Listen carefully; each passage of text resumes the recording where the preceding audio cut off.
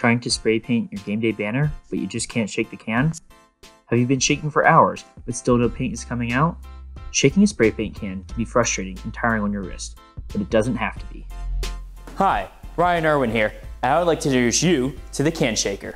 The Can Shaker makes shaking a spray paint can as easy as turning a handle, reducing the need for handheld shaking, which can quickly tire out your arms. The Can Shaker makes spray paint projects a breeze and allows you to use many different colors and kinds of spray paint without having to spend long periods of time shaking various cans of spray paint.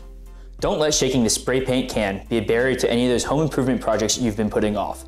Allow the Can Shaker to make painting a breeze. In order to achieve optimal mixing of the paint, the can needs to be shaken fast, which is often tiring on the arms after long periods of shaking. The shaker is designed with a belt ratio which allows the can to shake three times for every turn of the handle, making this shaking process much easier for the user. Simply shaking up and down isn't enough for optimal mixing. Shaking side to side allows for full mixing of the paint. That's why the can shaker shakes not only up and down, but also rotates side to side, making mixing quick and convenient. The can shaker is the result of extensive analysis and optimized gear ratios. Previous models had too high gear ratios, causing the belts to slip and the mechanism to bind up. A ratio too large makes the cranking of the handle difficult and can lead to breakage. As seen here, a ratio too small leads to shaking too slow, requiring the user to crank faster to achieve the same shaking speed. The ratio on this model is optimized to allow the user to achieve a good shaking speed without needing to turn the handle too fast. The can shaker is also designed to limit belt slippage and reduce the forces on the frame to minimize the potential for breaking.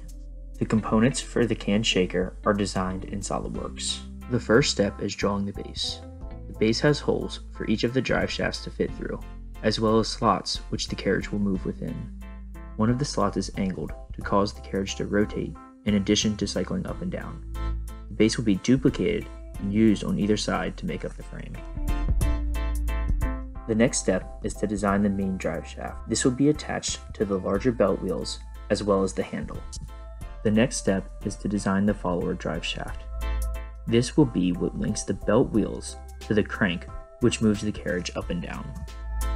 After the follower drive shaft is attached, the follower wheels, which will be attached to the belt, will be designed.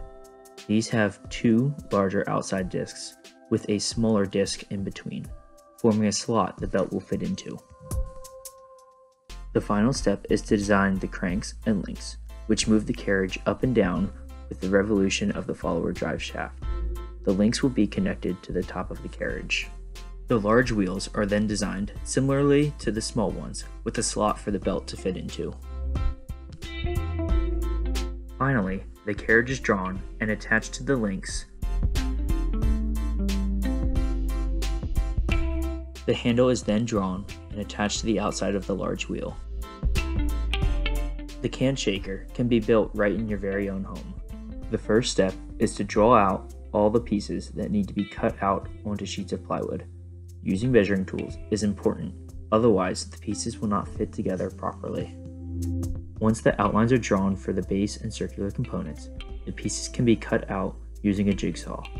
Take your time, as making sure the lines are straight and precise is very important. Once the pieces are cut out, the holes for screws and drive shaft components can be drilled out. Planning and drilling precisely is important, otherwise the shaft will wobble. Since the carriage holding the can will need to slide through the slots, it is important to make sure they are smooth and free of bumps. Straight lines are difficult to create using a jigsaw, so it's important to smooth out any accidental bumps using a rotary tool. Once the slots are straight, they can be sanded smooth to reduce the friction between the carriage and the base to allow for smooth motion and function. Continue testing the slots with a dowel until it moves with little to no resistance. The circular pieces of the wheels are then assembled by nailing and gluing the pieces together. The next part is to assemble the drive shafts. The drive shafts are made up of many different sized pieces, so precision is especially important here. The first step is to cut the necessary pieces to length using a saw. In order to drive the metal rod through the center of the drive shaft components, It is important to identify the exact center of each of the pieces so they can be linked axially. Drilling the components down the center is especially important and taking time to make sure the holes are straight down the center is essential to smooth function. Once the drive shafts and wheels are connected together, it is important to Dremel down the nails still protruding.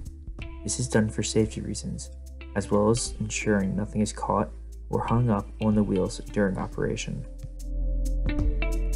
Once all the pieces are drilled and cut, they can be put together. Glue is recommended as it keeps all the pieces together. It is important to be careful not to twist or break any parts while putting together the components.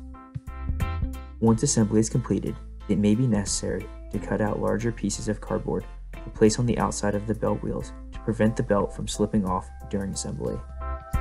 Belts are the final component added to the shaker and should not be attached before all the other pieces are assembled. Once the can shaker is assembled, you can test it out for yourself. To improve the function of the can shaker, the manufacturing processes can be refined to be more precise. Using lathes, drill presses, and metal instead of wood will reduce the inconsistencies within this model. Using a lathe will allow the holes drilled to assemble the drive shafts to be centered and straight through the axes of these components. Ensuring the drive shafts are straight and have no play or wobble will allow smoother function and less friction. The can shaker is designed to operate with a user input of one turn of the handle per second. This results in the can of paint going through an up-down cycle three times per second.